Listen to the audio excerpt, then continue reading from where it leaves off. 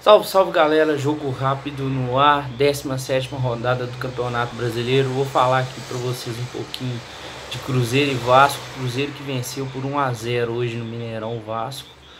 É, o Rogério Ceni usou a mesma escalação que ele tinha usado contra o Santos, colocando o, o Robinho no meio junto com o Henrique.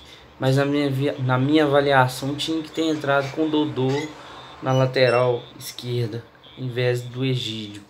É, o Cruzeiro que começou o jogo com bastante intensidade, mas que depois se perdeu um pouco. O Vasco começou a, a gostar do jogo um pouco mais.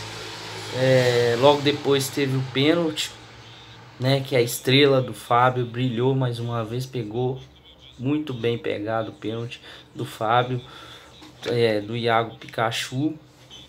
É, o parabéns aí pro garoto Maurício, né, que entrou no lugar do Thiago Neves e salvou o Cruzeiro, né?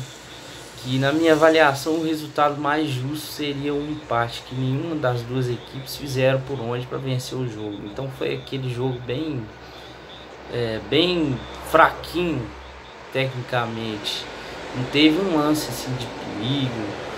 É, e agora o Cruzeiro vai jogar contra o Internacional, né, pela Copa do Brasil, tem a missão de virar o resultado, né, que perdeu de 1 a 0 o primeiro jogo, mas que tem chance sim. Acho que o Cruzeiro chega lá com força total. Valeu, um abraço a todos. Obrigado aí.